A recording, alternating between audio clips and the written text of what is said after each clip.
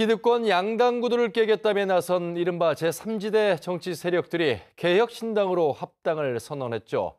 민주당 우세가 예상됐던 전북 총선 구도에 얼마나 영향을 줄지 관심입니다. 진유민 기자의 보도입니다.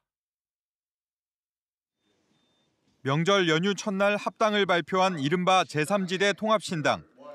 새로운 미래와 개혁신당, 새로운 선택, 원칙과 상식 등이 모인 개혁신당은 이낙연, 이준석 공동대표 체제로 지도부 구성 등 단일 정당을 위한 준비에 나섰습니다. 이번 총선 가장 큰 변수로 꼽혔던 제3지대 통합 정당이 탄생하면서 전북의 민주당 독주 구도에 어떤 영향을 끼칠지 주목되는 상황. 통합 직전 전북 도민을 대상으로 어느 정당이나 단체를 지지하는지 물은 조사에서 이준석 참여정당과 이낙연 민주당 탈당 의원 참여정당은 각각 3%와 4% 지지에 그쳤습니다. 개혁신당에 합류한 새로운 미래가 이번 총선 전북에서 내석 확보를 목표로 했던 만큼 낮은 지지율을 올리기 위해 본격적으로 경쟁력 있는 후보 영입에 나설 것으로 보입니다.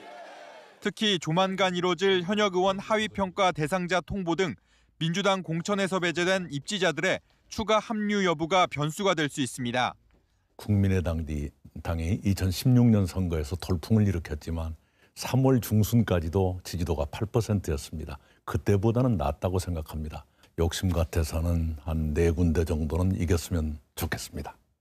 민주당은 탈당 규모가 크진 않을 것으로 예상하면서도 국정 반대 여론의 또 다른 선택지가 등장한 것에 대해선 경계하고 있어 제3지대 통합이 전북 총선 구도에 변화의 바람으로 작용할 수 있을지 관심을 모으고 있습니다.